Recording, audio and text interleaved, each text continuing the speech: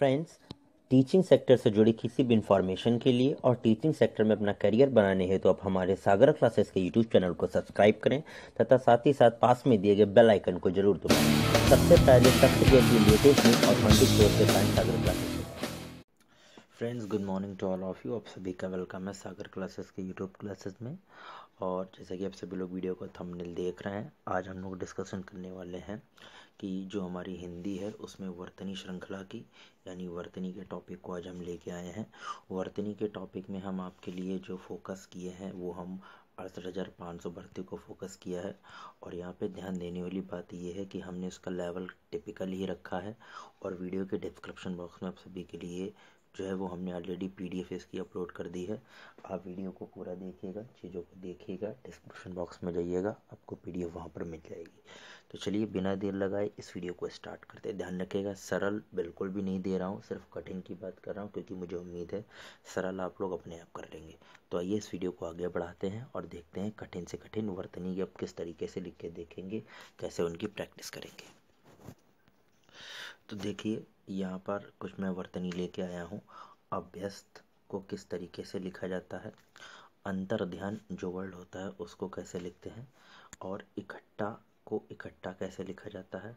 उपरोक्त को उपर्युक्त कैसे लिखा जाता है? उज्जवल देखिए किस तरीके से दो आधे जा आ रहे हैं। वह पूरा उलारा। गरिष्ठ गरिष्ठ यानी जिसमें ऑयली ज़्यादा हो। घनिष्ठ नहीं होता, घनिष्ठ होता है। अनिष्ठ नहीं होता अनिष्ट होता है। यहाँ पर इन वर्डों को ज़रा ध्यान दीजिएगा, जिस तरीके से मैंने लिखे हुए हैं। आगे चलते हैं। आवाहन को किस तरीके से लिखा गया? कनिष्ठ नहीं होता, कनिष्ठ होता है। ग्रहित किस तरीके से चार दीवार चार दीवारी होता है। तड़ित तड़ित को तड़ित लिखते हैं। परिस्थिति को किस तरीके से लिखा जाता है? प्रत्युत को किस तरीके से लिखा जाता है? यहाँ पर आप ध्यान दीजिए। भूधर को भूधर लिखा जाता है, तत्व को तत्व, द्वंद कैसे लिखा गया? निमीलित की जगह पर निमीलित होता है। नुपुर नहीं, नुपुर होता है। अप्रवृत्त किस तरीके से लिखा जाता है? आगे चलते हैं, इक्कीस ये हो गए। फिर आगे आइएगा, इधर अब आप लोग। परिणीत किस तरीके से लिखा जाता है? भस्मी भूत को देखिए, भस्मी भूत लिखा जाता है।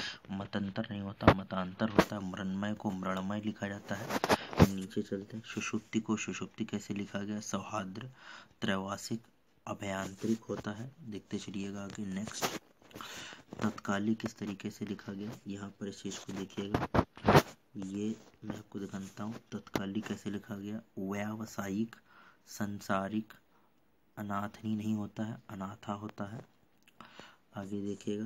दिगंबरी नहीं, दिगंबरा होता है। प्रेयसी का प्रेयसी होता है। उच्छ्वास का उच्छ्वास।